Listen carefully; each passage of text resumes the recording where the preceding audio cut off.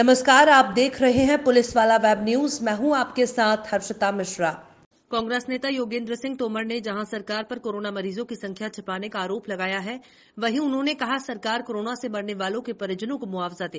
कांग्रेस नेता योगेंद्र सिंह तोमर ने कोरोना में मरने वाले हर व्यक्ति के परिजनों को चार चार लाख रुपए का मुआवजा देने की मांग की है। उन्होंने कहा, विश्व स्वास्थ्य संगठन की गाइडलाइन के तहत मृतकों के परिजनों को मुआवजा देने का प्रावधान है। वहीं उन्होंने सरकार पर कोरोना के मरीजों की संख्या छिपाने का भी आरोप लगाया है। उन्होंने कहा सरकारी अस्पतालों में जहाँ मरीजों को इलाज नहीं मिल रहा वहीं कोरोना मरीज़ उनके परिजन परेशान हो रहे हैं।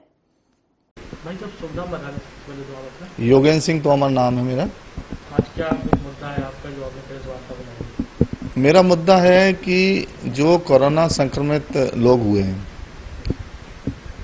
उनको एक तो मुआवजा दिया जाए। हमारी सरकार ने पहले घोषणा की थी कि हर मरने वाले व्यक्ति को चार लाख रुपए प्रति व्यक्ति को दिए जाएँगे। अभी मेरी जानकारी के अनुसार किसी भी व्यक्ति को कोई भी मुआवजा नहीं दिया गया। और ये मुद्दा नहीं है सीधे तरीके से एक सरकार पे आरोप है मेरा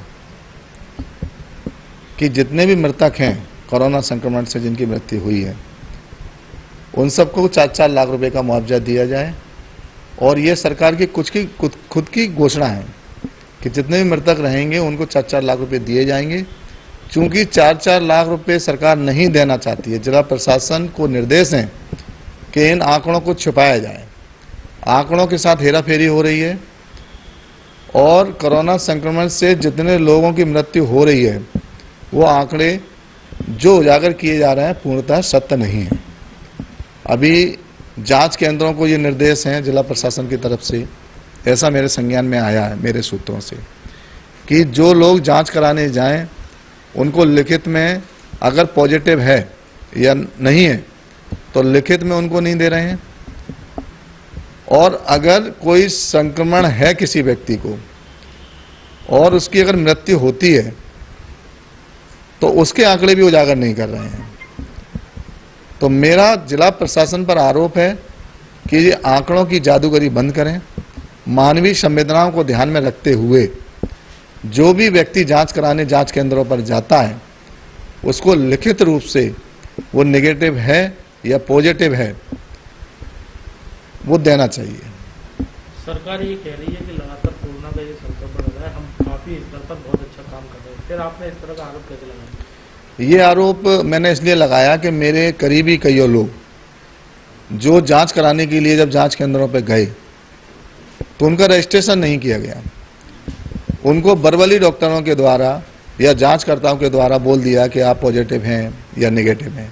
जब उन्होंने कहा कि हमें लिखित में चाहिए तो उन्होंने कहा कि आपको लिखित में जवाब आ जाएगा, या आपके मोबाइल पे एसएमएस आ जाएगा, सूचना आ जाएगी।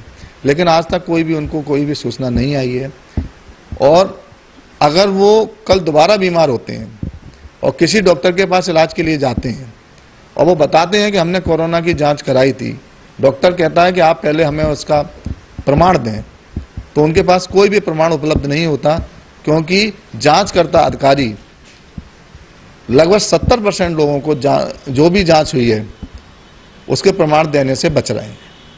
आपका आरोप केंद्र सरकार पर है प्रदेश सरकार पर? अभी तो मेरा जिला प्रशासन पर आरोप है क्योंकि ये मामले जिला प्रशासन की अनियमितता की वजह से आए हैं। लेकिन मेरा मानना यह है जिला प्रशासन उन्हीं चीज़ों में अनियमितता कर सकता है जहाँ जिला सरकारें उनको इस तरीके के हिडन निर्देश दे के रखती हैं।